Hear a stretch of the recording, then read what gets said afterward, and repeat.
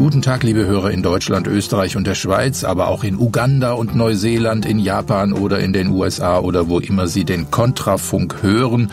Ich weiß, dass Sie es tun, weil wir aus all diesen Ländern Post bekommen und ich weiß, dass viele von Ihnen so weit weggegangen sind, nicht aus Reisefieber und purer Abenteuerlust, sondern aus politischen Gründen, aus Sorge um das Wohlergehen der Kinder oder aus Angst vor den immer totalitärer werdenden Verhältnissen in der Heimat. Wir werden auch heute an diesem 2. Oktober 2022 diese Verhältnisse beschreiben, erörtern, kritisieren, denn dafür ist der Kontrafunk da, nicht um die Regierung zu bejubeln und deren Macht zu stärken, sondern um zu analysieren, was hier im Gang ist, darüber zu informieren oder auch es einfach festzuhalten für die Zukunft, für eine Zukunft, die es sicher geben wird, daran glaube ich ganz fest, und in der man fragen wird, was ist denn damals eigentlich passiert und wie konnte es dazu bloß kommen? Mein Name ist Burkhard Müller-Ulrich und seit zweieinhalb Jahren bespreche ich mit meinen Gästen jeden Sonntag diese Fragen und die vielen Angriffe gegen uns, die widerwärtigen Zeitungsartikel und Verleumdungen zeigen mit aller Deutlichkeit, dass wir gebraucht werden und dass wir irgendwas richtig machen. Da ich eben so international angefangen habe, möchte ich an dieser Stelle ein Übersetzungsprogramm vorstellen, das mich wirklich umgehauen hat. Es heißt Vidbei und es dient speziell dazu, komplette Videos in eine andere Sprache zu transponieren. Vidbei übersetzt nicht nur, sondern ordnet die Texte den verschiedenen Personen zu, die im Bild vorkommen und erzeugt dann die synchrone Sprachausgabe. So kann man in minutenschnelle Videos in 70 Sprachen vertonen, einfach per Internet-Upload und Kreditkartenzahlung. Vidbei schreibt sich V-I-D-B-Y und witbuy.com ist die Internetadresse. Probieren Sie es mal aus. Es ist extrem einfach zu handhaben und die Qualität ist faszinierend. Und jetzt begrüße ich zur Sonntagsrunde die Vorsitzende der Desiderius Erasmus Stiftung Erika Steinbach, den Dokumentarfilmer und Publizisten Dirk Pohlmann sowie den immer noch Chef der Parlamentsredaktion von Bild, Ralf Schuler. Ich sage das so, weil du ja längst gekündigt hast, aber der Springer Verlag will dich nicht gehen lassen, was ich übrigens verstehe. Du bist halt unersetzbar. Also, erst die Pipeline, dann der Beitritt. Jetzt ging es doch rasch voran in den letzten Tagen. Der NATO-Beitritt der Ukraine wurde beantragt, vollzogen ist er noch nicht, aber wenn er wirklich geschieht, was passiert dann, Frau Steinbach? Wirklich Weltkrieg? Das glaube ich nicht, dass es einen Weltkrieg deshalb geben wird. Allerdings macht es deutlich, dass Putin mit seiner Aktion, dem Überfall auf die Ukraine, das Gegenteil von dem erreicht hat, was er eigentlich erreichen wollte. Er ist in seiner Strategie offenkundig komplett gescheitert, denn er wird anschließend, wenn der Krieg mal zu Ende ist, umzingelt sein von NATO-Staaten das Zerwürfnis auf unserem Kontinent ist bedauerlicherweise damit wahrscheinlich für lange Zeit manifestiert, was ich wirklich tragisch finde, denn es hätte so nicht kommen müssen. Also, er hat Europa zusammengebacken, so verstehe ich Sie. Scheint allerdings nicht ganz so zu sein, denn es kommt ja immer mehr Komisches ans Tageslicht. Also wir müssen auch über Sabotageakte reden, von denen man ja nicht weiß, wem sie zuzuschreiben sind. Jedenfalls tun alle Medien, alle Mainstream-Medien ihr Mögliches dazu, dass man es nicht nicht weiß und auch nicht mal vermuten darf. Nur der böse Putin schiebt's den Amerikanern in die Schule, aber die Amerikaner haben es selber gesagt. Also Biden, ja. Ich muss sagen, wenn man so die Fakten nebeneinander legt, dann stößt man zwangsläufig auf das Thema USA. Wem nützt es denn letzten Endes? Also Putin hat es doch einfach gehabt. Er brauchte nur den Gashahn zuzudrehen und wir haben kein Gas mehr bekommen. Er brauchte die Leitung nicht zu sprengen. Warum soll er das, was er mit vielen Dollars und Rubeln aufgebaut hat, warum soll er das selber sprengen? Und all die vorangegangenen Äußerungen zeigen, es gibt ein anderes Interesse und vor dem Hintergrund, es ist alles Spekulation, aber was mich natürlich auch stutzig macht, dass das Thema dieser Zerstörung dieser Pipelines, dass das praktisch verschwunden ist, unserer Medienlandschaft. Es wird nicht diskutiert.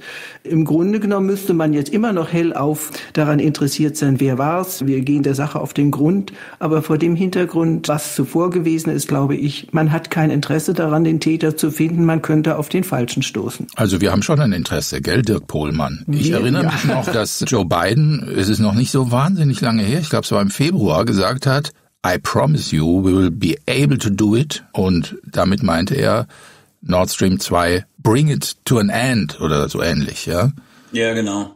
Ich gebe jetzt mal wieder den Dissidenten. Ja. Ich bin der Meinung, dass Putin etwas erreicht hat, das Gegenteil von dem, was er erreichen wollte. Ich glaube, er ist in eine Situation manövriert worden, wo er die Wahl hatte zwischen Krieg, den er anfängt, und Krieg, der über ihn hereinbricht. Ich erinnere daran, das übernehme jetzt mal die Position von John Mercer, also einem ausgewiesenen Konservativen, einem sehr vernünftigen Mann, der das in vielen Vorträgen im letzten halben Jahr immer wieder ausgeführt hat, dass die Entscheidung 2006 der USA, Georgien und Ukraine den Beitritt in die NATO anzubieten, der entscheidende Wendepunkt ist ab dem die Russen gesagt haben, hier ist ganz deutlich eine rote Linie. Eine weitere rote Linie war die nukleare Bewaffnung der Ukraine, die jetzt wieder vom Chef des Generalstabs in einem Artikel in die Runde geworfen wurde. Auch mit Langstreckenwaffen übrigens. Sie möchten die gleiche Reichweite bei den Nuklearwaffen haben wie die Russen. Und Putin stand vor der Wahl, der zweite Gorbatschow zu werden, der nicht in der Lage ist, die Bevölkerung in Donetsk und Luhansk zu schützen, weil er versuchte zu jonglieren über acht Jahre zwischen Europa und einen diplomatischen Weg offen zu halten, bis es klar war, als am 16. Februar die Bombardierung von Donetsk und Luhansk von 25 Einschlägen pro Tag auf 2000 anstieg und Biden sagte, dass er weiß, wann der Krieg beginnen wird, nämlich am 16. und also damit rechnete, dass Russland an dieser Stelle einsieht, dass es keine andere Wahl hat, als entweder selber anzugreifen oder sich in eine Situation zu bringen, worauf die Politik erzielt, auf den Regime-Change in Moskau, in dem Putin als zahnloser Bär vorgeführt wird vor seiner Bevölkerung. Das ist meine Analyse. Zu der Sache mit der Pipeline. Ich habe mich ja nun sehr gründlich über mittlerweile mehr als 15 Jahren in dieses U-Boot-Geschäft eingearbeitet und kann Ihnen sagen, dass die Ostsee einer der bestüberwachtesten Gebiete der Welt ist. Dort ist der Meeresboden verwanzt mit Hydrophon von beiden Seiten. Dort bewegt sich kein Boot das nicht erfasst wird. Die Technik ist mittlerweile in der Lage, über Datenbanken aus den Schraubengeräuschen nicht nur die Schiffsklasse eines Schiffes abzuleiten, sondern jedes individuelle Fahrzeug, was bekannt ist, was dann eben neu zugefügt wird, wenn es nicht bekannt ist, abzubilden. Und ich gehe davon aus, dass die NATO und die Russen auch genügend technische Forensik haben, um darauf hinweisen zu können, wer es wird. Und das wird spannend werden. Also von der NATO werden wir das nicht hören, da wird nicht viel rauskommen. Aber ich bin gespannt, ob die Russen diesmal mit solchen Sachen rauskommen, die ja immer bedeuten, dass man preisgibt, welche Ortungsmöglichkeit man hat. Das ist ein bisschen das Problem, aber das, wie gesagt, ist so verwandt, dass das keins ist. Mhm. Also es war ja auch eine interessante Kaskade von Nachrichten. Zunächst mal, ach, vielleicht ein Erdbeben? Nein, doch kein Erdbeben. Nein, es hat doch irgendwie größer gekracht und dann kam so langsam, langsam raus, dass es sich um ein, um mal ein Wort unseres Kanzlers, was hat der, sagt ja immer vom Doppelwumms, das war ein Doppelblub da unter der See und dieser Doppelblub, der war messbar so groß, dass es die Leitung komplett zerrissen haben muss. Denn das wurde nicht einfach angebohrt von irgendwelchen Kampftauchern, sondern die ganze Leitung, das wusste man ja eigentlich ziemlich schnell, hat aber eine Weile gedauert, bis es in unseren Medien dann durchsickerte. Die ganze Leitung ist zerrissen. 200 Meter, ne? Also das ist eine gründlich gesprengt. Auch zu beiden möchte ich mal sagen, wir sollten uns ja daran erinnern, dass neben ihm Kanzler Scholz stand als Biden mitteilte, dass in Deutschland die Pipeline nicht in Betrieb gehen wird. Eine Journalistin fragt sogar noch, wie wollen Sie das denn durchsetzen? Das ist doch eine deutsche Angelegenheit. Also die Pipeline gehört Deutschland, Russland, worauf er dann antwortete, wir werden es schaffen, glauben Sie mir. Und das in Anwesenheit des Bundeskanzlers. Das ist eine öffentliche Beleidigung gewesen, die bei Freunden von mir aus verschiedenen Ländern, ich habe wirklich vier Anrufe gekriegt, wo die mich gefragt haben, was haben die gegen Scholz in der Hand, dass er sich das gefallen lässt dass Biden weiß, dass er sich da hinstellen kann und so etwas machen kann. Das ist ja kein Verhalten einem Freund gegenüber. Ich weiß nicht, ob der Satz von Caitlin Johnson, Amerika hat keine Alliierten mehr, sondern nur noch Geiseln, ob das in diesem Fall zutrifft. Das war ja ein ungeheurer Affront, wenn man sich das überlegt, der über uns auch nicht kommentiert wurde. Kann das gewusst haben, der Scholz, Ralf Schuler? Er hat ja vorher gesprochen mit Joe Biden unter vier Augen und das sind halt so Sprüche, die man als Weltmacht klopft.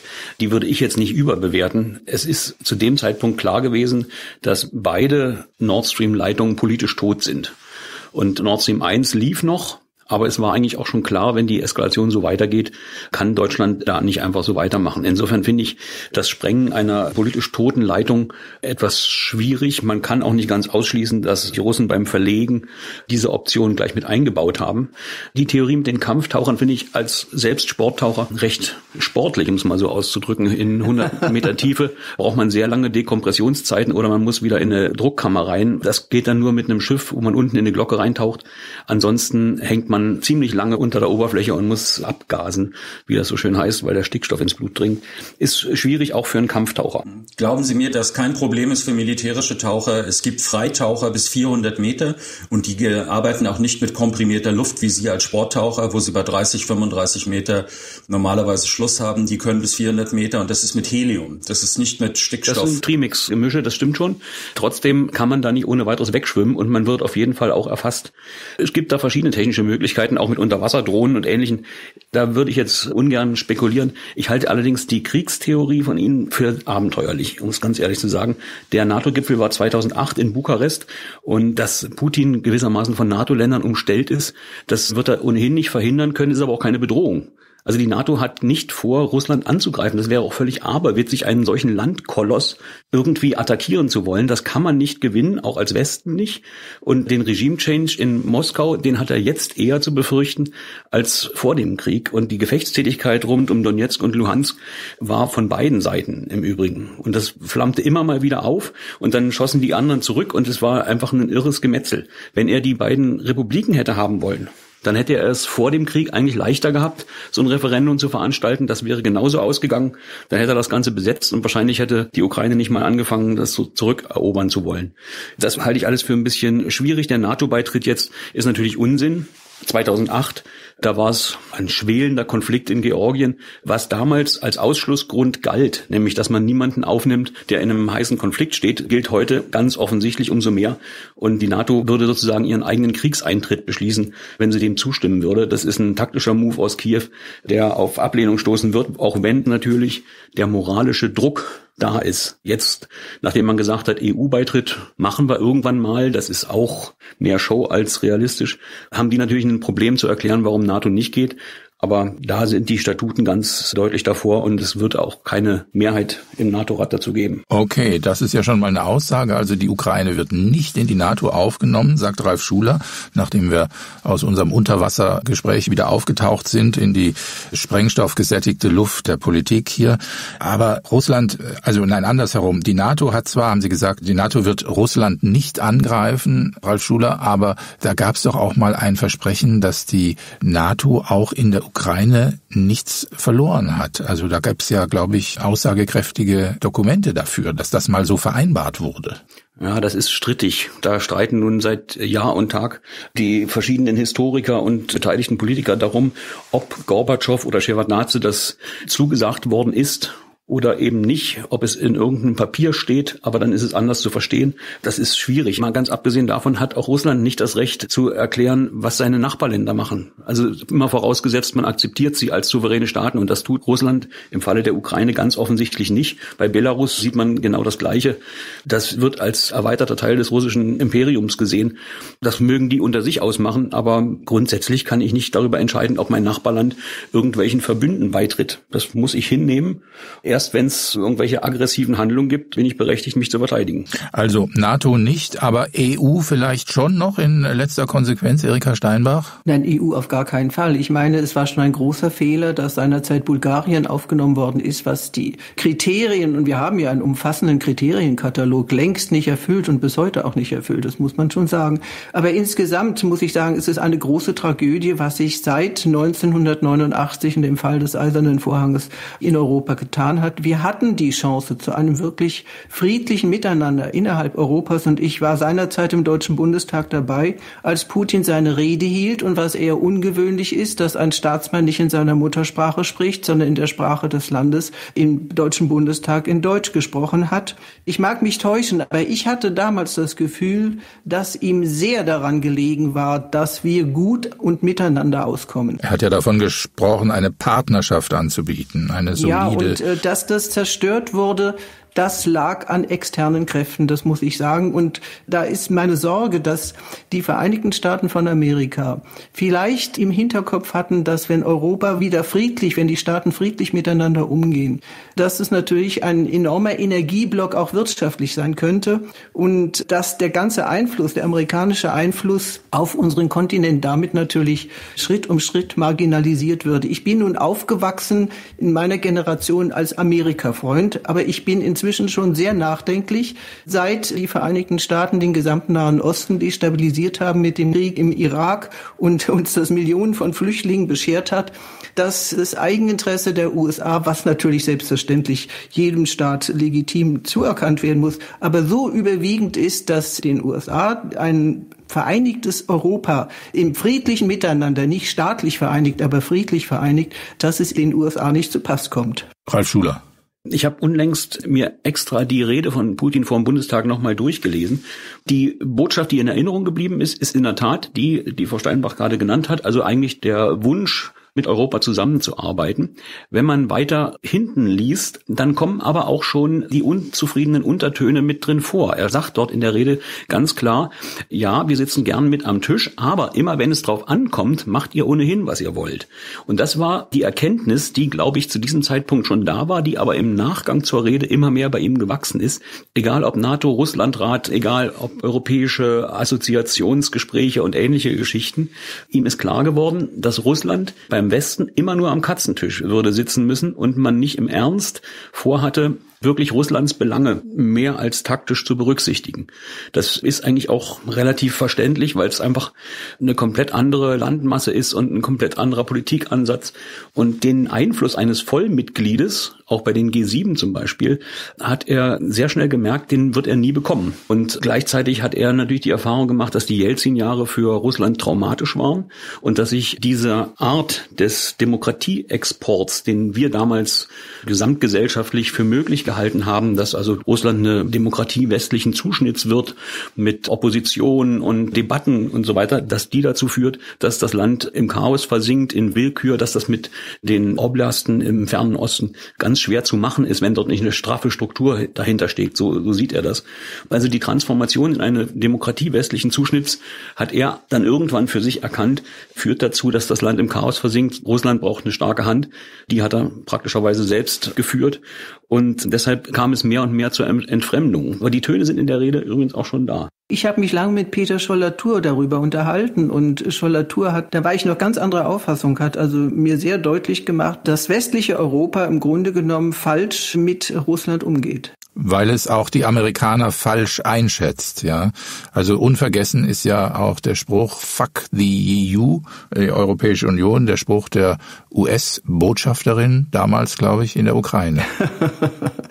Ich würde gerne mal darauf eingehen, weil das ist jetzt so, also erstmal, ich hatte ein Interview mit dem Jacques Beau gemacht, also Oberst im der Schweizer Armee und dem strategischen Nachrichtendienst, der von der Schweiz damals nach, das war schon Russland, also Übergang Sowjetunion zu Russland gesandt wurde, weil die Schweiz erwog, in die NATO einzutreten und wollte sondieren, wie darauf reagiert würde. Und die überraschende Antwort von Jacques Beau war, dass der russische Generalstab nichts dagegen hatte, weil die das damals so betrachtet haben, die wollten selber Mitglied der NATO werden und haben das so betrachtet wie so eine Art äh, supranationale Organisation, in der in Zukunft Sicherheitsfragen geregelt werden. Das Ganze, und das ist das Entscheidende, ist aus einer Position der Schwäche entstanden. Das heißt, Gorbatschow hat ja die Sowjetunion nicht aufgegeben aus Überschwang der Macht, sondern weil es bröckelte, sein Imperium an allen Seiten abbröckelte. Und das haben die Amerikaner in diversen Publikationen Positionen, und da sollte man nicht drum herum reden, haben sie das gesagt, zum Beispiel 1992 die Wolfowitz-Doktrin, dass niemand ihnen die Weltherrschaft mehr streitig machen kann und ihre Aufgabe in der Strategie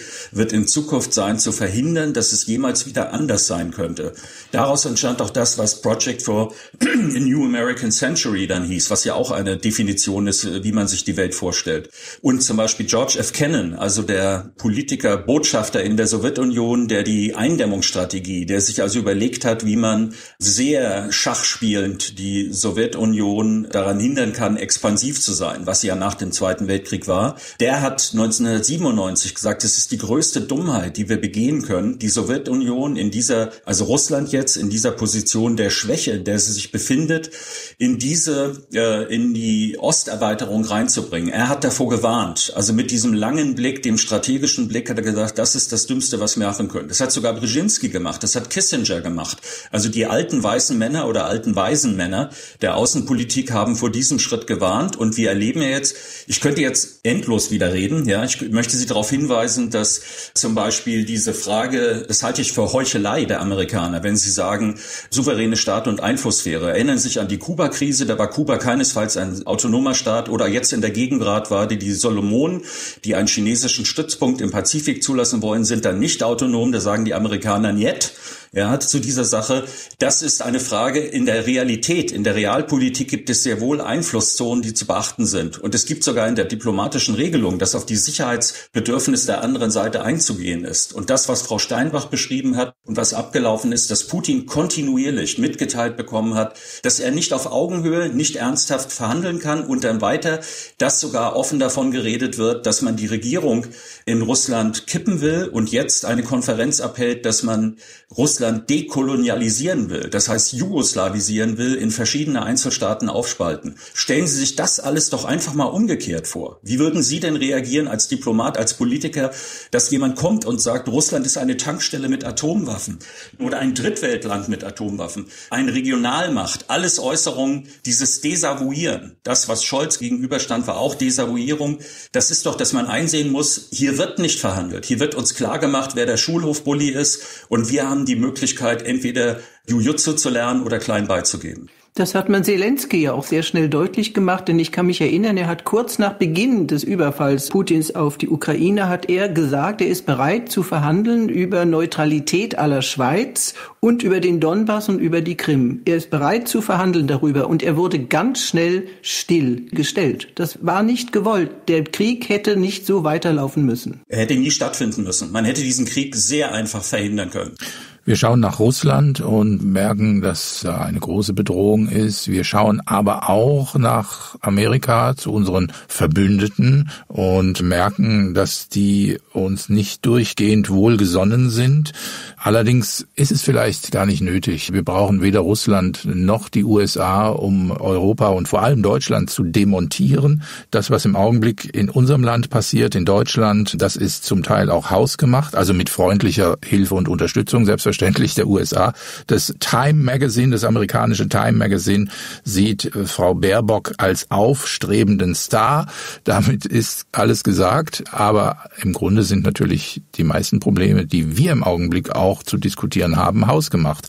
Ich gehe mal durch die Notizen der letzten Tage und sehe, dass ein Strategiepapier der deutschen Bundesregierung offenbar existiert. Was steht da drin? Dirk Pohlmann, ich glaube, Sie kennen das. Ja, ich habe es gestern mit roten Ohren gelesen. Also das, was der angeblich unveränderliche Kernbestandteil unserer Gesellschaftsordnung sein sollte, ausgehebelt wird. Hier ist eine sozusagen Propagandafront wird erzeugt, dass die Medien wenig mehr als ein Verstärker und Lautsprecher von Regierungsmeinung sind und das, was die Medien als unveränderliche Aufgabe haben, nämlich den Diskurs über die Entscheidung der Politik, die Erörterung der Hintergründe, der Interessen, die dahinter stehen, abweichende Meinungen zu Wort zu kommen zu lassen, was ja ich sage das jetzt mal als Linker mit Aufkommen der AfD schon zu sehen war, dass denen, wenn die Bevölkerung falsch wählt, kriegen die kein Mikrofon vor den Mund gehalten. Das ist ja unglaublich eigentlich, so ein Vorgang, weil die Regeln, was die Medien zu tun haben und was sie zu lassen haben, das ist ein direkter Verstoß gegen die Grundregel. Wir haben als Meldegänger zwischen den Schützengräben hin und her zu gehen und dafür zu sorgen,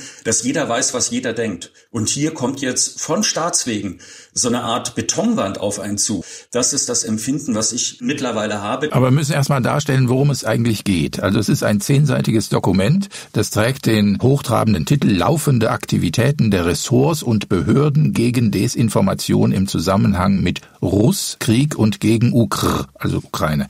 So, das ist also ein Zehn-Punkte-Plan und da wird genau aufgelistet, was alles geklappt hat. Also man hat von Regierungsseite den Spiegel, den Stern, den Tagesspiegel irgendwie in die Tasche gesteckt, jedenfalls tolle Zusammenarbeit mit denen etablieren können. Man hat in der Öffentlichkeit den Begriff Taskforce gegen Desinformation etablieren können. Darüber freuen sie sich.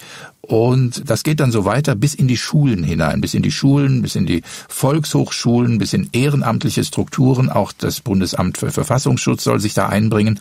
Also ein genauer Fahrplan, wie man von Regierungsseite die öffentliche Meinung ja nicht nur beeinflussen, sondern regelrecht an die Kandare nehmen kann. Jetzt kann man ich natürlich möchte, sagen. Es gibt einen wichtigen Punkt dabei, was Sie gesagt haben. Es gab diese Absprachen Stern, Spiegel, Tagesspiegel, die dann, das muss man sich ja vorstellen, ihren Lesern, die in einer konzertierten Aktion mit der Regierung eine bestimmte Ansicht darbieten, aber die müssen ja eigentlich als erstes mal sagen, wir sind hier eine Kooperation überhaupt erst eingegangen. Wir sind jetzt eine Art Regierungssprecher, der sich an Sie wendet. Es ist also eine klebrige Melange von Sachen, die eigentlich einer Gewaltenteilung unterliegen sollten.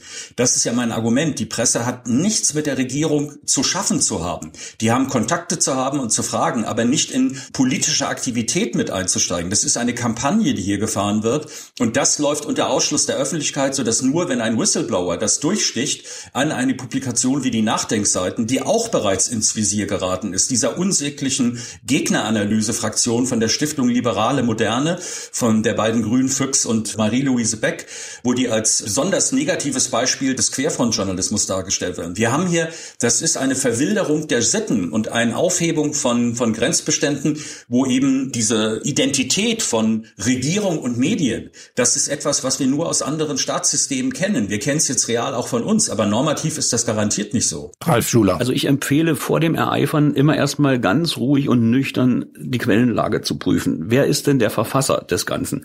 Ich bin immer sehr, sehr skeptisch. Ich habe in letzter Zeit so viele vermeintliche Papiere, Quellen oder Nachrichten gelesen, die sich am Ende alle als irgendwie zweckdienlich gefälscht herausgestellt haben. Ich bin da sehr, sehr vorsichtig, weil es im Prinzip so eindeutig Narrative bedient, dass ich mich wundere, wer so etwas verfasst haben soll.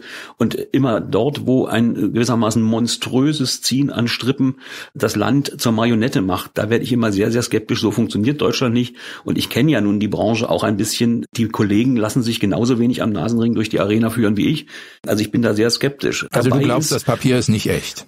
Ich kenne es nicht und ich würde immer erst, bevor ich darauf reagiere, sehr lange prüfen, wo kommt's her, welchen Weg hat es genommen, warum zu den Nachdenkseiten, warum nicht zum Spiegel oder was anderes. Wer ist ja, eigentlich der, der Spiegel involviert ist? Wer ist? Ja, wenn ich Reichweite erreichen will, dann gehe ich zu einem großen Medium und nicht zu einer Webseite, die sofort wieder unter Ach, den du bist beleidigt, weil sie nicht zu Bild gegangen sind. Das wäre das Mindeste ist Teil gewesen. Dieser, äh, ist Teil dieser Koalition. Also wieso, warum sollen die zum Spiegel gehen, der mitmacht? Ja, die, die ganz große Deutschlandverschwörung, da bin ich im Prinzip Prinzip schon raus. Aber natürlich kennt jeder meine Zugangsdaten erstmal mir anbieten, alles andere ist sowieso eine Verschwörung. Egal. Nein, ich wollte ja auf den ernstzunehmenden Punkt kommen, unabhängig davon, ob dieses Papier echt ist oder nicht, gibt es natürlich in allen europäischen Ländern, auch in Übersee, verstärkte Bemühungen, was man gegen vermeintliche Fake News und Hass und Hetze tun kann. Das ist äh, im Prinzip eine Sache, die viele umtreibt, die ich auch aus dem Kanzlerflieger kenne. Das Ringen von Regierungen darum, falsche Informationen, entweder wirklich wirklich falsche Fakten oder Dinge, wo man Interpretationen zu Tatsachen umdeutet. Wie man das einhegen kann, weil natürlich im Zeitalter des Internets sich Milieus ihre eigenen Nachrichten, ihre eigenen Wahrheiten äh, schaffen und das im Prinzip kaum noch einem sich gegenseitig regulierenden Diskursmarkt unterliegt. Also in einer bestimmten Blase tausche ich mich darüber aus und bestätige mich gegenseitig und bin gegenüber jedem Input von außen skeptisch. Diese Bemühungen gibt es und die Gesetzgebung gegen Hass und Hetze die kenne ich ja auch und das ist eben hochproblematisch. Also wenn man zum Beispiel private Player wie Twitter oder, oder Facebook dazu auffordert, den Wahrheitsgehalt zu scannen. Es ist völlig unbestritten, dass ich heute für Homöopathie werben darf, obwohl es keine Wirkung hat. Ich darf auch behaupten, dass die Erde eine Scheibe ist. Das ist, ist mein gutes Recht. Und genauso kann ich natürlich sagen, es waren drei Millionen in Washington zur Inauguration von Trump und die Fotos zeigen etwas anderes und dann weiß eigentlich am Ende jeder, was er davon zu halten hat. Das Misstrauen in den freien Meinungsmarkt ist da und die Regulierungsversuche finde ich in der Tat schwierig, um es mal ganz vorsichtig und diplomatisch auszudrücken. Ob das in diesem Papier rauskommt, das weiß ich nicht. Es gibt immer wieder Überschneidungen, wo medial viele in die gleiche Richtung marschieren, aber es gibt dann auch meistens Ausreißer. Du kennst viele Papiere, die sich als Fakes erwiesen haben, das ist klar. Ich kenne allerdings auch einige Papiere, sogar aus dem Bundesinnenministerium, die so hart sind in ihrer antidemokratischen, fast totalitären Art, die Meinung zu steuern, die Menschen in Panik zu versetzen, dass ich es für Fake gehalten hätte und nicht glauben konnte, dass es echt ist. Also ich glaube, wir sind überrascht in beide Seiten. Beides gibt es.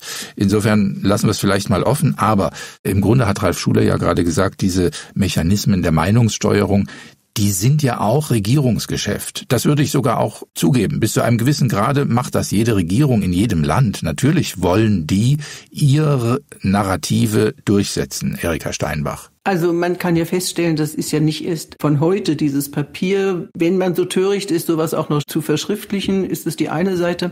Aber es gab ja die Umfragen schon unter der Regierung Merkel, dass die deutsche Bevölkerung zu einem erheblichen Teil der Auffassung ist und der Meinung ist, man könne nicht mehr öffentlich alles sagen, was man denkt und man muss da sehr vorsichtig sein. Das heißt, es ist durchaus ein Bewusstsein vorhanden, dass nicht jede Meinung erwünscht ist. Und ich muss sagen, die Art und Weise, wie mit der Corona-Diskussion Diskussion umgegangen worden ist und diejenigen, die anderer Auffassung waren, obwohl sie selber auch Fachleute gewesen sind, wie die in den Boden gestampft worden sind, stigmatisiert worden sind.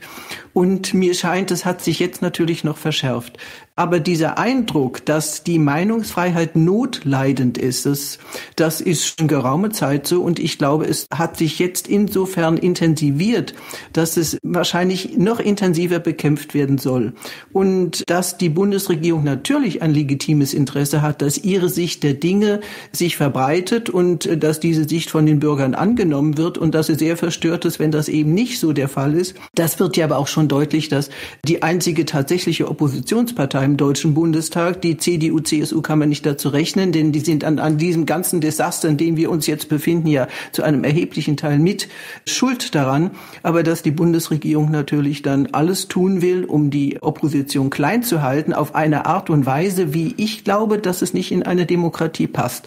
Dass man also eine Partei wie die AfD von Sitzen im Bundestag abhält, dass der Deutsche Bundestag das einschließlich der CDU, CSU mitmacht oder federführend von dieser, dass die Medien, die Opposition nur dann zu Wort kommen ist, wenn es irgendeinen massiven Angriff auf genau diese Partei gibt, dass diese Untersuchung jetzt in der Bundesgeschäftsstelle der AfD, dass das letzten Endes in einer Art und Weise geschehen ist, die im Grunde genommen mit Rechtsstaatlichkeit herzlich wenig zu tun hat. Das, Darauf wollte ich ja gerade kommen, ja. ja.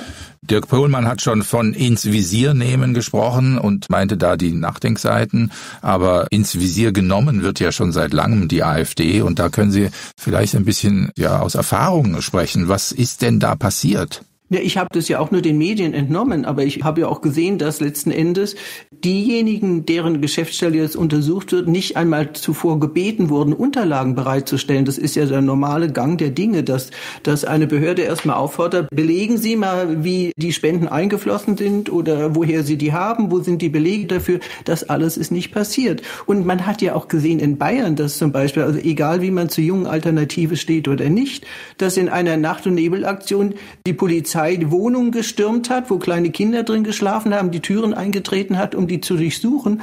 Das sind Dinge, die mit einem Rechtsstaat nun wirklich überhaupt nichts mehr zu tun haben. Das muss man schon sagen. Ich hätte höhere Anforderungen noch als nur den Rechtsstaat. Das ist ja sozusagen die letzte Badehose, bevor man nackt ist. Ja?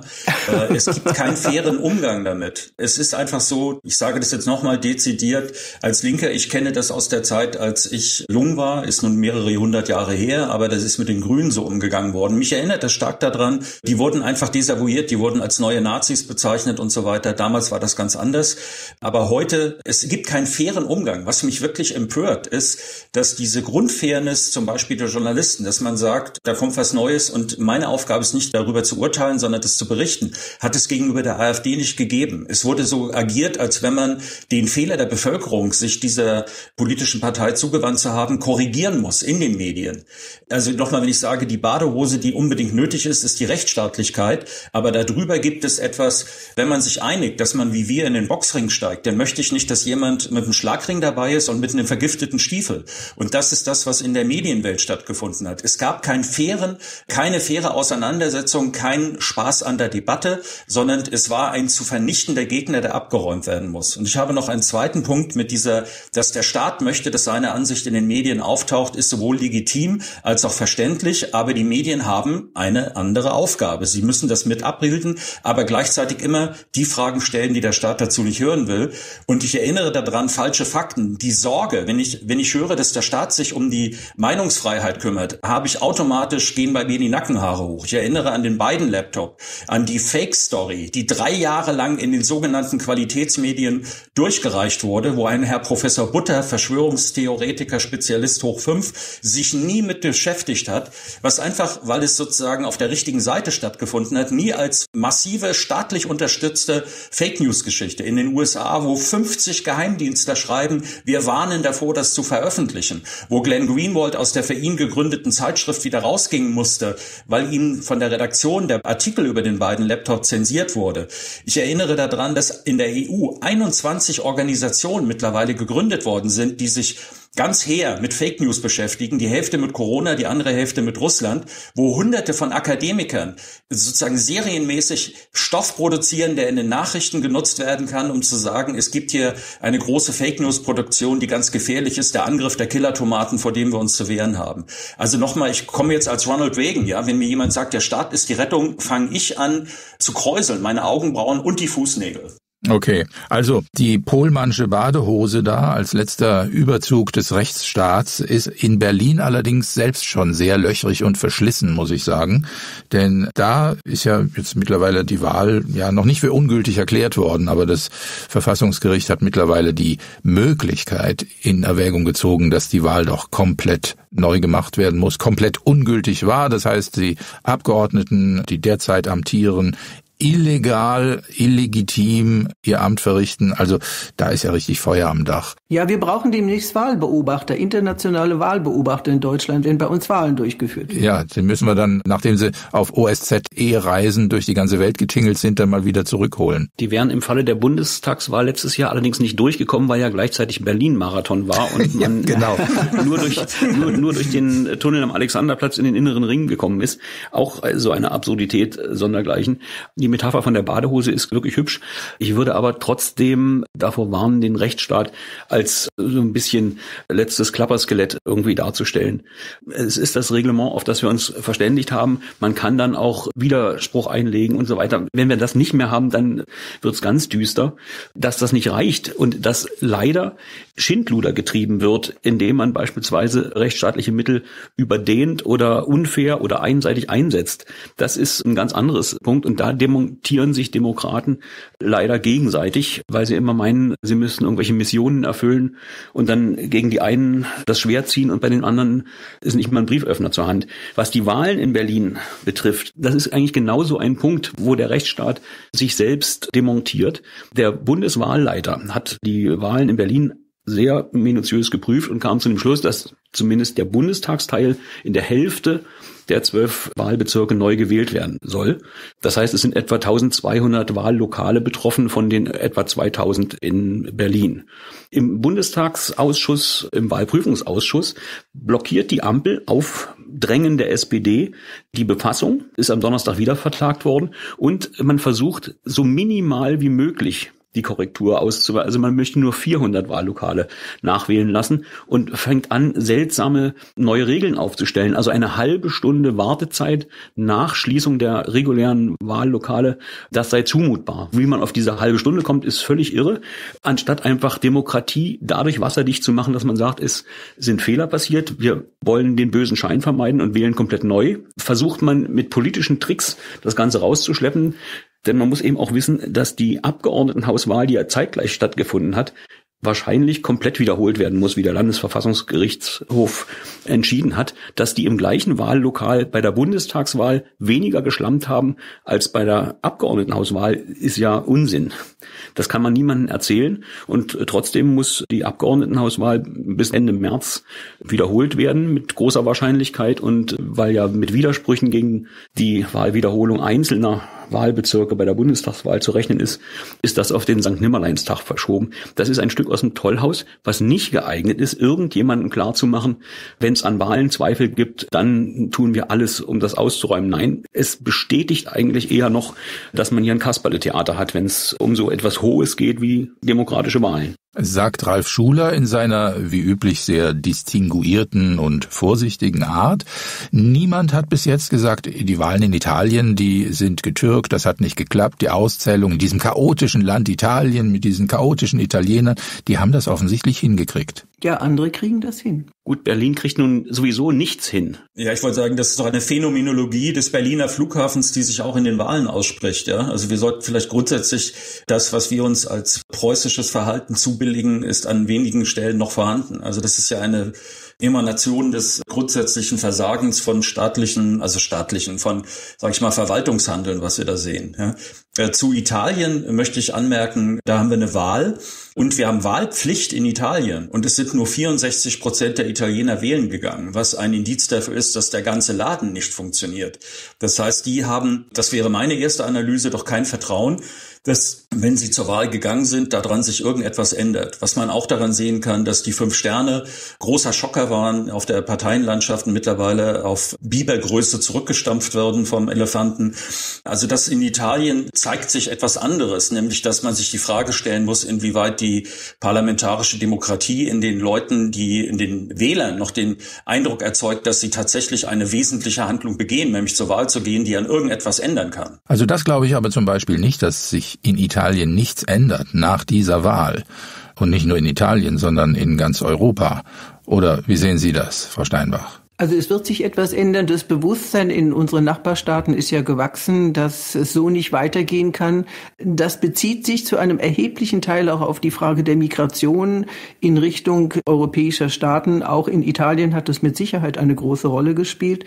Was ich interessant finde, dass in all den Ländern, ob das Schweden ist oder ob das Frankreich ist oder jetzt Italien, die konservativen Parteien, die rechten Parteien in dem Moment zum Erfolg gekommen sind, wo sie sich entradikalisiert haben. Das war bei Marine Le Pen so, das war in Schweden so und das ist auch in Italien so gewesen, dass Parteien, die ursprünglich einen sehr viel radikaleren Ansatz hatten, sich inzwischen innerlich so gefestigt haben, dass sie erkannt haben, Radikalität ist keine Lösung, sondern man muss mit Vernunft die Dinge angehen und dann sind Wähler auch entschlossen, solche Parteien zu wählen. Also das wäre Ihr Rezept für die AfD, selbstverständlich. Da ist, da ist zweifellos was dran dran. Wenn man sich anguckt, welchen Katalog Frau Meloni vertritt, da war Ehe und Familie, da war starker Staat, Patriotismus.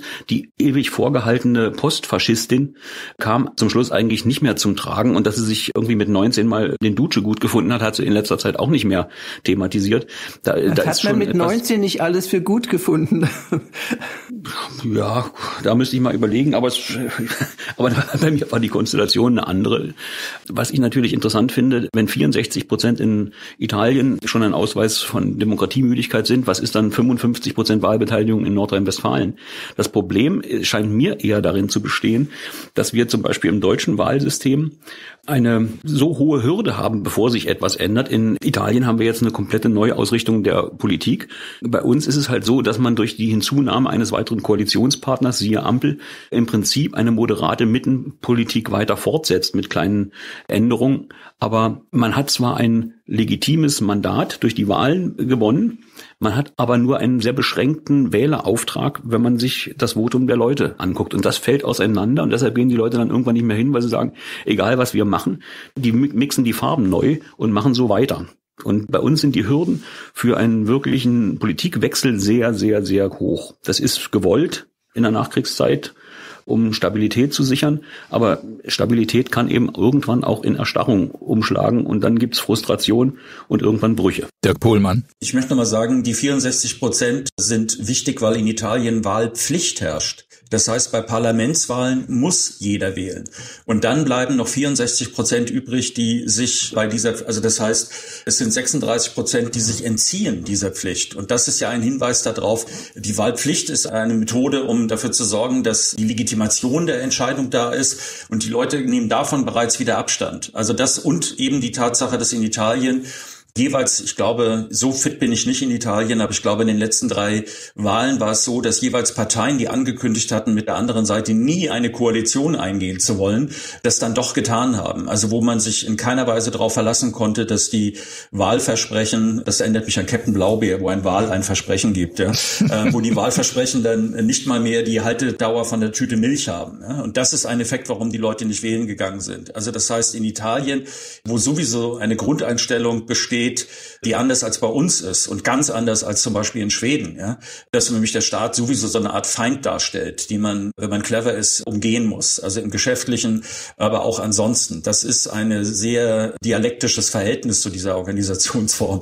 Es nervt mich mittlerweile, wenn ich dann höre, Frau Meloni, und dann wird das Gespenst des Faschismus ausgepackt dort. Sie ist eine Rechtskonservative, so würde ich das einordnen. Und auch dieser, dass es auf diesem rechten Spektrum gar nicht mehr zulässig ist, dass es Differenzierung gibt. Auch das regt mich als jetzt aus dem linken Spektrum. Ich weiß nicht, mittlerweile würde ich mich eher als Liberale einordnen. Ich würde mich nicht mehr dem zu, äh, zuschlagen, was da im Moment läuft. Aber das, das sind alles keine Erscheinungsformen einer lebendigen Demokratie, die Spaß daran hätte, dass da, dass verschiedene Meinungen aufeinander prallen, sondern diese, dieses Karl Schmidtsche Freund-Feind-Denken, was da eingezogen ist, die andere Seite, die Welt ist besser, wenn sie beseitigt ist. Das finde ich sowohl dumm als auch unmenschlich. Also das erleben wir ja jeden Tag. Faschismus geht immer und Nazi, ganz besonders in Deutschland, geht auch immer. Wir haben gerade gesprochen über Rechtsstaat und ist er nur noch ein Höschen und ich würde trotzdem gerne mal wissen, wann ist der Rechtsstaat am Ende? Wenn die Inflation bei 30 Prozent liegt oder wenn der Blackout kommt? Ich hoffe, dass der Rechtsstaat nicht am Ende ist, dass der Rechtsstaat auch ein Blackout überlebt. Wobei also die Schilderung, die ich von Fachleuten inzwischen gehört habe und die mir erläutert haben, was dann alles damit verbunden sein würde, die werden die Mehrheit der Menschen hier im Lande überfordern. Und das würde wirklich dramatisch werden. Welche Auswirkungen das am Ende auf unsere Demokratie haben wird, das wird sich dann auch erst noch zeigen. Also wenn man am Ende damit rechnen muss, dass Gewalt herrscht, um sich noch Lebensmittel irgendwo zu beschaffen oder Wasser zu zu trinken, dann sind es existenzielle Fragen, die den Einzelnen auch so entmenschlichen können, dass, dass die Gesellschaft auseinanderfliegt. Ralf Schuler. Also man sieht im Alltag manchmal so kleine Erosionserscheinungen, bei denen man ahnt, in welche Richtung sich größere Brüche ereignen könnten. Sie haben beispielsweise im Steuerrecht eine, wie ich finde, Überregulierung, die am Ende es opportun erscheinen lässt, Steuervermeidung und Steuerflucht so trickreich wie möglich einzufädeln, weil das eine Art Sport geworden ist, weil immer neue Winkelzüge seitens des Finanzgesetzgebers vollzogen werden. Wir haben in der Regulierung der Wirtschaftswelt Tendenzen, die dazu führen, dass man in bestimmten Branchen eigentlich keine legale Arbeit mehr bekommt. Bei Landschaftsbau, Landschaftsgärtnerei, also bei Wegepflastern, bei Gärten einrichten.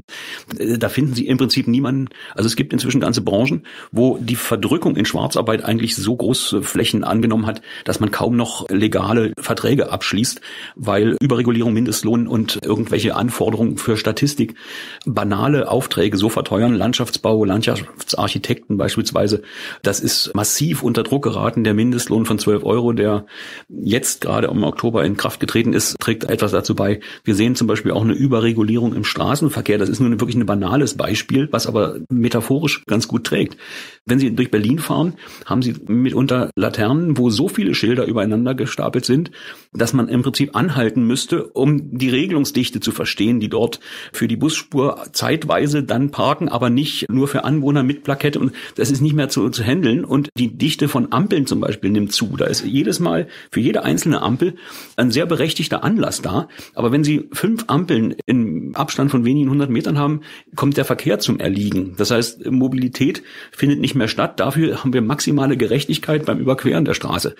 Das ist, finde ich, symptomatisch für auch den politischen Betrieb, wo sich so viele gegenseitige Abstimmungsverfahren dermaßen behindern, dass sie einfach überhaupt nicht vorankommen. Also ich glaube ja, dass die wirtschaftlichen Probleme dermaßen zunehmen, dass Fragen der Regelungsdichte und der Volksunzufriedenheit, ja schon das Wort Unzufriedenheit ist ein Euphemismus gegenüber der Volkswut, die sich irgendwann entladen wird, wenn die Lebensgrundlagen in Gefahr sind. Und das scheint mir zu drohen. Oder täusche ich mich da? Frau Steinbach. Also ich glaube, Sie haben vollkommen recht, Herr Müller-Ulrich, dass die Lebensgrundlagen jetzt durch die Gasfrage, die Energiefrage insgesamt wirklich dramatisch gefährdet sind.